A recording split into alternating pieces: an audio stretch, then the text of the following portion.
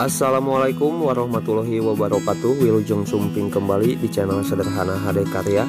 Sehat, sukses, lancar, jaya selalu untuk sobat kreatif di mana pun berada. Mari kita belajar bareng lagi di channel Sederhana ini. Kita perluas pengetahuan, kita kembangkan setiap peluang. Kita perdalam setiap teknik dan cara ide-ide kreatif desain kreasi seputar dunia las listrik Adanya channel sederhana ini insya Allah bukan untuk mengajari ataupun menggurui kepada ahli senior master yang skillnya sudah mumpuni hanya sekadar berbagi dari pemula untuk pemula agar tetap bisa berkarya. Dari apa yang dibagikan, ambil yang terbaik, buang yang terkurang. Mari kita mulai bersama dari yang terkecil dan semoga bermanfaat tentunya.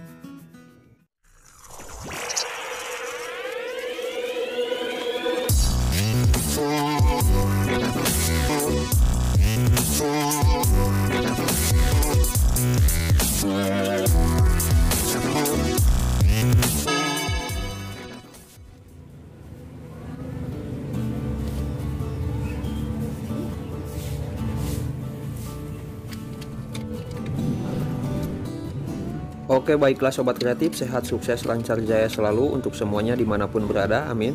Pada kesempatan kali ini saya akan sedikit berbagi kembali cara bending hollow 90 derajat dengan cara manual. Dan saya juga akan coba jelaskan dan sedikit praktekkan langsung pada pekerjaan saya. Karena kebetulan sekali Alhamdulillah wa syukurillah ya. Hari ini saya ada sedikit pekerjaan kecil yaitu pesanan pembuatan troli dari salah satu distributor makeup di Tasikmalaya. Dan pembuatan meja belajar dari siswa sekolah Meskipun kerjaannya kecil tak seberapa ya, tapi insya Allah kalau kita bisa mensyukurinya akan besar juga nikmat dan hasilnya. Jadi jangan lupa untuk selalu bersyukur ya sobat kreatif. Oke untuk kenapa saya buat video ini? Saya buat karena ada pertanyaan dan permintaan dari salah satu sobat kreatif untuk saya agar membuat video pekerjaan aslinya dengan cara bending hollow 90 derajat ya manual.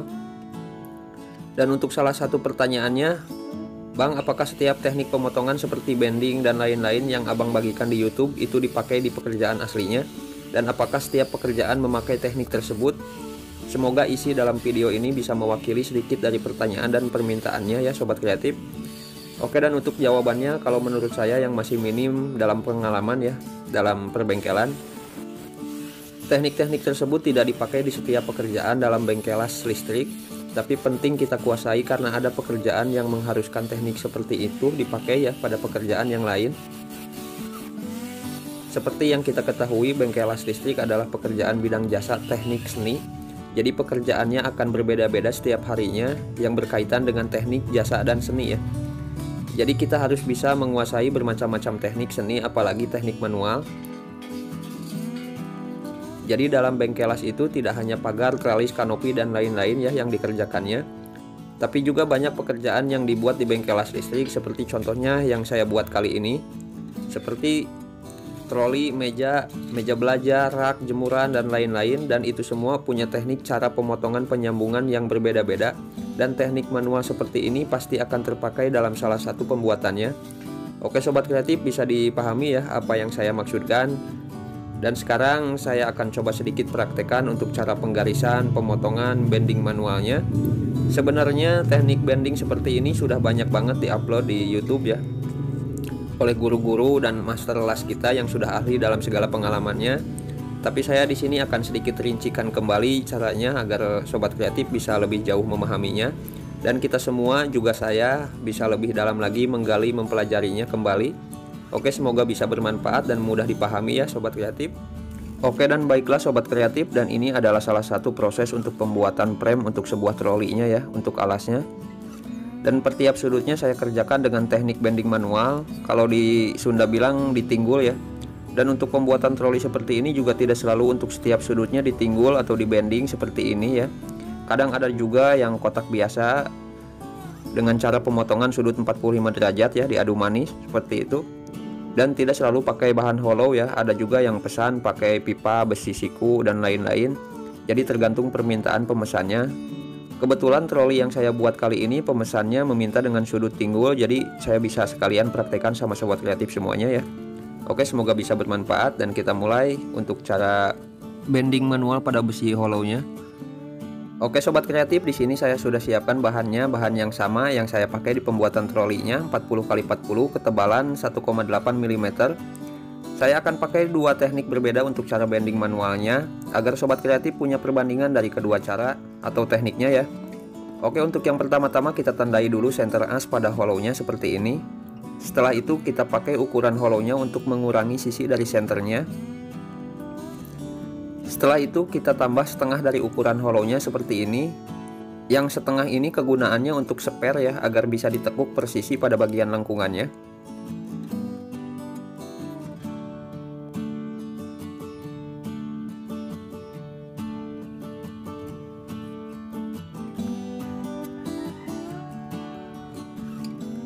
Oke, untuk selanjutnya kita buat garis melengkung pada ruang yang paling besar.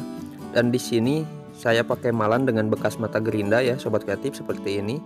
Untuk ukuran malan pada lingkaran yang dipakai itu akan berpengaruh ke hasil lengkungannya. Kalau sobat kreatif pakai bekas gerinda yang kecil akan menghasilkan tekukan atau lengkungan yang kecil juga. Tapi kalau sobat kreatif memakai lingkaran malannya yang besar ya atau bekas gerindanya yang baru akan menghasilkan lengkungan yang sedikit melebar sobat kreatif disesuaikan saja dengan keinginannya. Oke, sekarang kita garis melengkung kembali pada bagian sisi selanjutnya sobat kreatif. Hati-hati ya sobat kreatif, harus selalu perhatikan posisi lengkungannya, jangan sampai terbalik ya. Biar gak pusing dan tidak keliru waktu memotongnya. Oke sobat kreatif sekarang kita tandai dulu bagian yang akan dibuang dari hasil penggarisan dan seperti ini hasil keseluruhannya dari hasil penggarisan yang sudah kita coba buat ya setelah itu kita potong dan kita cek lagi hasil dari garis yang sudah kita buat setelah dipotongnya.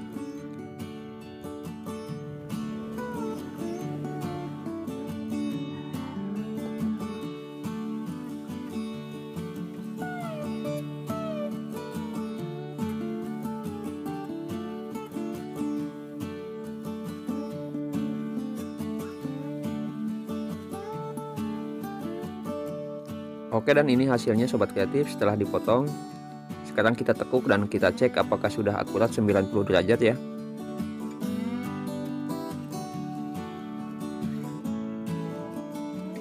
Dan hasilnya Alhamdulillah sobat kreatif sudah akurat. Sekarang kita laspul dulu lalu kita haluskan ya dengan gerinda dan kita cek kembali hasil akhirnya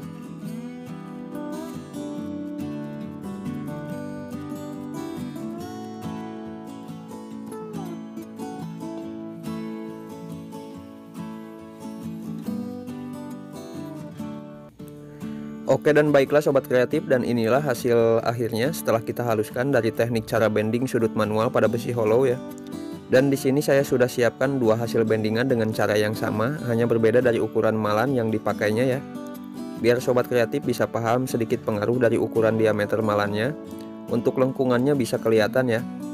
Untuk yang kecil mempunyai lengkungan yang kecil juga, untuk yang besar mempunyai lengkungan yang sedikit melebar ya.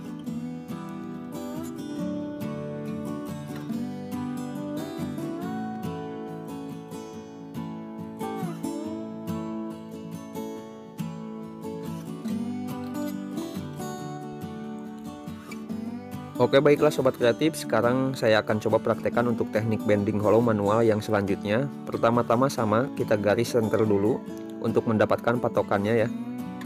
Setelah itu kita pakai ukuran badan hollownya sama juga kayak yang pertama. Cuma untuk teknik yang ini kita kurangi senternya untuk bagian kiri dan kanannya seukuran badan hollow. Kalau yang pertama kan sebelah ya. Kalau yang ini dua-duanya kiri kanannya kita kurangi senternya seperti ini. Sobat kreatif bisa dilihat ya. Ya seperti ini. Lalu selanjutnya kita kurangi 5 mm pada bagian tepat di center asnya dibagi dua ya sobat kreatif.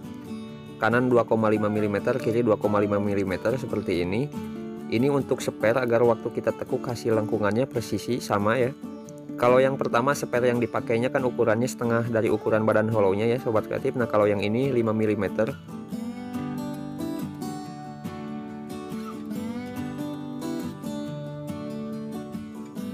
Oke sekarang kita buat patokan untuk garis kemiringannya dan caranya seperti ini sobat kreatif. Kita kurangi ruang paling besar pada bagian paling sisinya ya 1 cm seperti ini. Ini untuk apa? ini untuk patokan garis kemiringan 90 derajatnya. Terus kenapa kita kurangi 1 cm itu untuk mengganti ujung sudutnya yang bakal terpakai ya oleh lengkungan yang akan dihasilkan pada sudutnya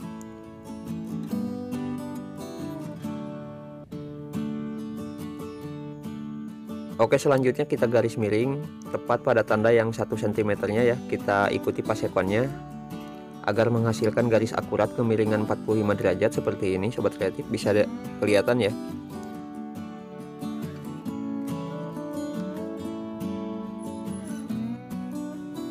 Dan seperti ini hasilnya sobat kreatif bisa diperhatikan ujung garis kemiringannya ya. Itu untuk apa? Itu untuk kita pakai patokan lengkungan yang akan dibuat dan untuk membuat lengkungannya sama seperti yang pertama ya sobat kreatif kita pakai malan dengan mata gerinda. Hanya berbeda pada teknik ini kita garis lengkungannya kiri dan kanannya ya seperti ini. Untuk mendapatkan hasil yang akurat pada lengkungannya usahakan sobat kreatif menggarisnya tepat lurus dengan garis kemiringan yang pertama ya yang dibuat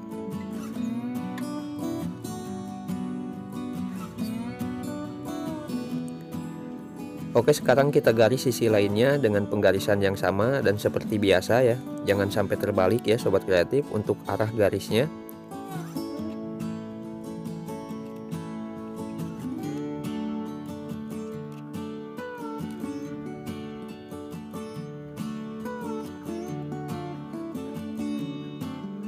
Sekarang kita coba potong dulu untuk mencoba teknik pemotongan seperti ini agar hasilnya akurat ditentukan pada garisnya ya sobat kreatif dan posisi mata gerinda waktu pemotongannya. Seperti contohnya sobat kreatif bisa lihat pada hasil pemotongan kemiringan yang sekarang ya. Yang ini itu harus itu harus benar-benar lurus posisi atas dan bawahnya bisa dilihat ya sobat kreatif. Biasanya kalau kita motong atau menggaris tidak presisi, yang satu akurat, yang pada bagian sisi lainnya biasanya renggang kalau enggak terlalu rapat ya sobat kreatif. Oke sekarang kita lanjutkan kembali ke pemotongan pada bagian yang lainnya.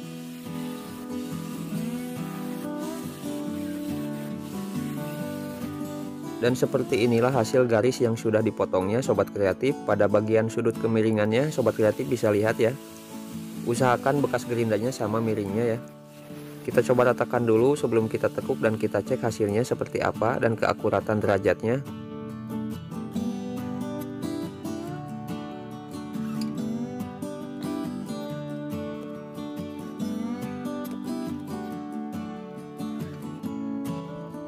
Dan seperti inilah hasilnya sobat kreatif lumayan akurat ya untuk derajatnya juga cukup akurat.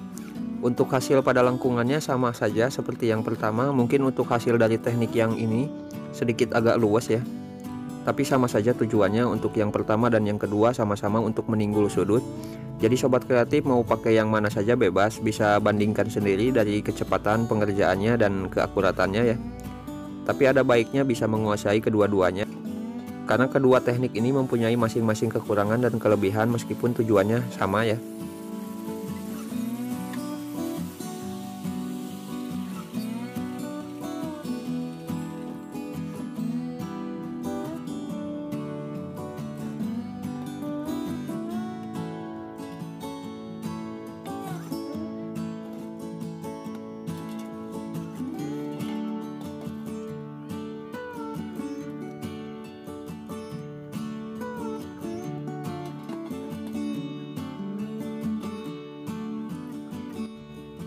Oke sobat kreatif dan ini hasil frame atau alas untuk troli yang saya akan coba buat Yang sudah saya coba praktekkan di awal dengan teknik bending sudut hollow manualnya. Dan pada frame ini saya pakai teknik yang pertama ya sobat kreatif Karena menurut saya lebih cepat dalam pekerjaan dan hasilnya lumayan akurat. Dari kedua teknik atau cara tersebut sobat kreatif bisa praktekkan sendiri ya. Kalau belum pernah mencobanya dan bisa bandingkan sendiri dari kecepatan dan hasilnya enakan atau nyaman yang mana yang cocok dipakai dalam pekerjaannya Oke sobat kreatif dan ini untuk rangka meja belajarnya yang akan saya coba buat nanti ya. Dan saya juga pakai teknik pemotongan kemiringan 45 derajat dengan teknik caca seperti pada tutorial sebelumnya yang sudah saya bagikan duluan videonya.